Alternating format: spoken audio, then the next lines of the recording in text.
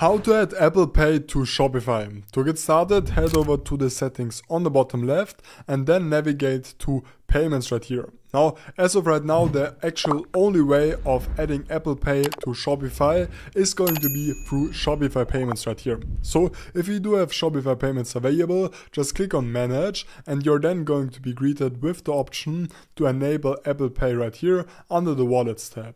Now, basically the downside of this is that Shopify payments as of right now is only going to be available in a limited amount of countries. You can see them on screen right here. However, additionally, this may is going to work in the future, but as of right now, not. You can actually add a payment method right here and you can then manually look for Apple right here and if there is going to be Apple Pay you can add, add this right here but once again as of right now this isn't going to be available.